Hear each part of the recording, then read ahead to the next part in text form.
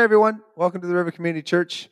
I'm Christian. It's good to be back. We hope you enjoyed last weekend service, and we're looking forward to another exciting Sunday morning this week. You can sign up for Sunday morning service online at rivercc.net.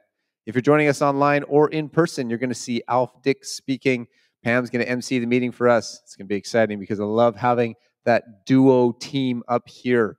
And this week's going to be recorded worship, so there's going to be lots of room for you to engage and get into worship together as a community. You should have received an email uh, listing the songs that Carly sent out to us. Thank you so much, Carly, for sending those songs to us. She does amazing work behind the scenes for the worship to be able to happen. So, way to go. So, follow along with those songs this week if you're going to be at home. If you enjoyed the prophetic words that we had last weekend, you can watch those on YouTube. The videos are recorded. Just look for the special edition moments from the date, and that usually includes the prophetic words and the special worship times that we had that week. I wanted to share what God spoke to me, and I hope it blesses you. We recently had an election in BC, and that was a provincial election. And what I noticed is that when you go up to vote, they make you say this line I am eligible to vote in this election. And there's different qualifications that are required. You know, you have to be 18 years or older. You have to have not voted in the election already. You have to live in BC, et cetera, et cetera. But it was fascinating to me that when I spoke it out, I suddenly realized, wow, I'm actually speaking the authority and the right to vote in this election, which I already possess.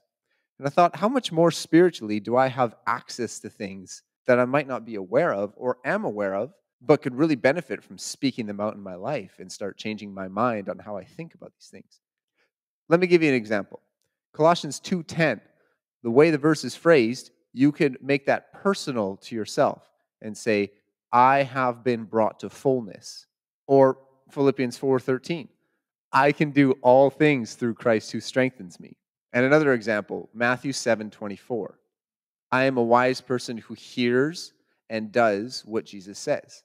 Suddenly we have this relationship with God in the promises that He's spoken to us already, where we get to echo back to Him, or at least tell ourselves what we can be believing based on the truth that we're reading. So I want to encourage you take a verse that is special to you already, something that you treasure, and start saying that in a way that's personal to you so that it starts to change how you think. And we're looking forward to seeing you know, how does that change our lives, our daily lives? Just by having a connection with our Father and allowing Him to impact us because of what He's spoken. If you want to be part of these videos on Thursday evening, please feel free to let me know. I'd love to have other people involved in this. So send me an email at mediatrcc at gmail.com and we'd be happy to get you in here. Obviously, we can only hold so many people at a time. So that's all for this week. We'll see you on Sunday. Philippians 4:13. I can do all things through Christ who strengthens me. Apparently I can't.